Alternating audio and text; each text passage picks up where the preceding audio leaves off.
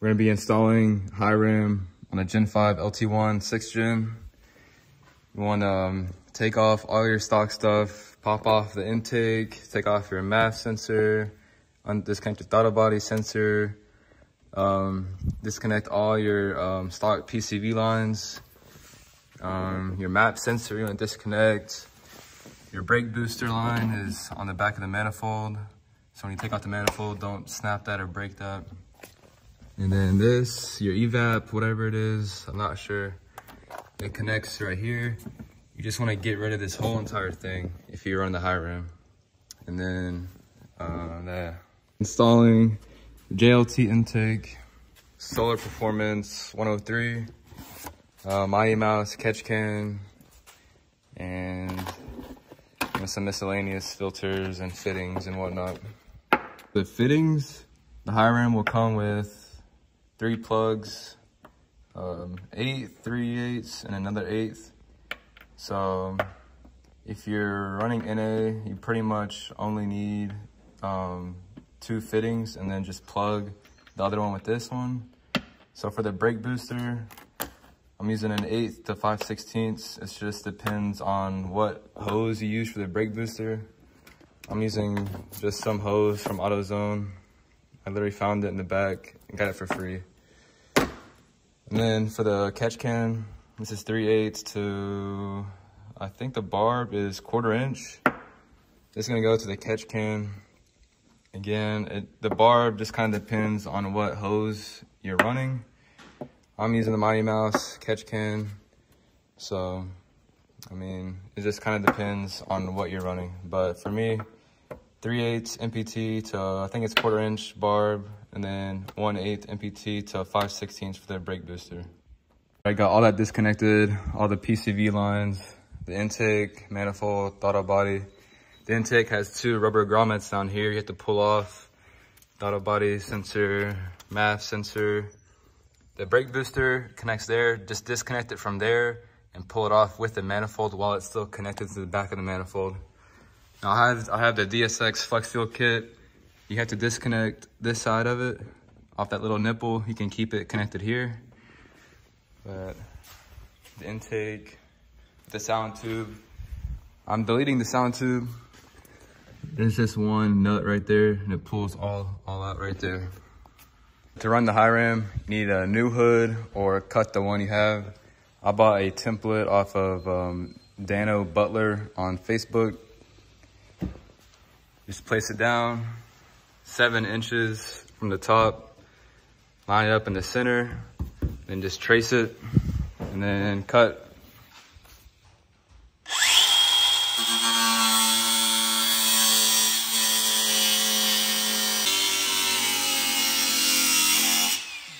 So far, chopping up this part right here. Should be good to go. You just gotta get deep in there, cut it straight.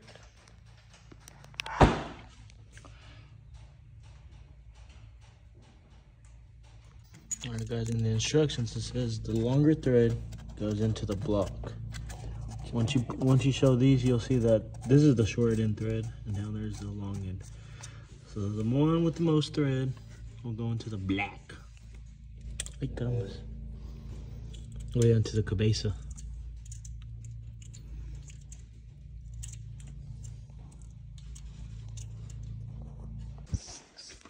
All right, so we got these installed now, pretty snug. Use a 10 for to tighten it, 10 mil I forgot what size this was. A 13, 18. It was an 18 mil. And then your map sensor.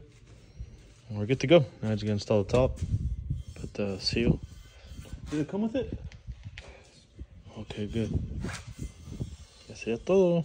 Is it also like a little thing one? Mm To go under. And then one question that y'all probably gonna ask for the catch can. Catch can you got?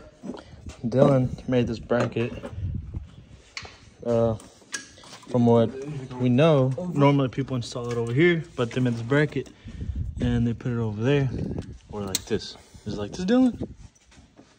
I'll see. So this is angle cut. Okay, so now we just gotta put all the the lines, that, throttle body, and yeah, intake. So let's just do that real quick. Also, so there's these studs that we were talking about. We originally put all eight, I mean one, two, three, four, all five on one side, but no, there's six. Two, on each side. one, two, three, four, five. No, there's five. The? Yeah. So there's five on each side. We removed these back um, two or four in total. That way it could fit better because if not, you would not be able to put it in. Well, at least we weren't. And it was easier just to put them back in. So this will tell you the torqueage.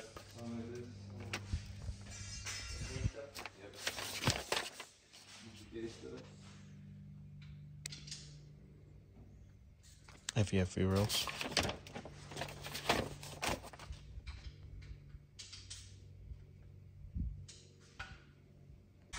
All right, we're doing with the JLT intake. Got that part. That one? Now we just done this part already. We had to heat up the side of the throttle body so it could fit in. buddy. Yeah. The coupler? No, on the side where the throttle body goes. And that way the coupler could fit because it's a 103. So we just heat it up and we put it. Y ahí está. So now this booger goes like this.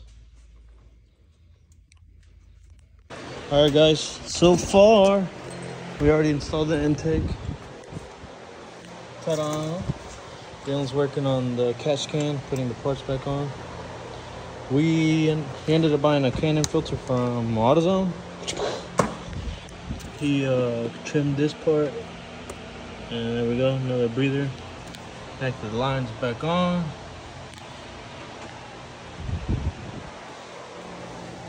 That's there. Now we just gotta get the map. Where- Oh, never mind. Da la vuelta. Mm. Alrighty. What else? Alright, tortotas. This is this is it. The map sensor re, uh, extension goes to the back. So let me go plug it up, and we'll go from there.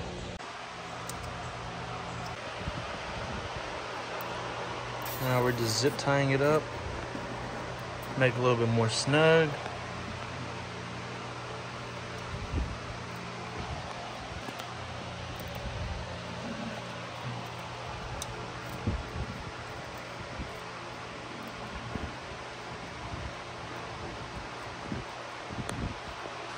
We're almost on time.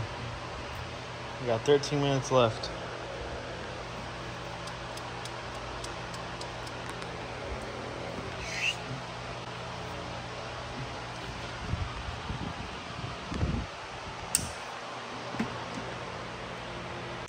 All right, guys. So that concludes it.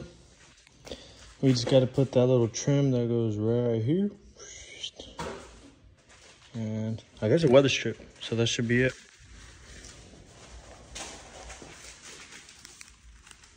All right, guys. Ahí nos vemos.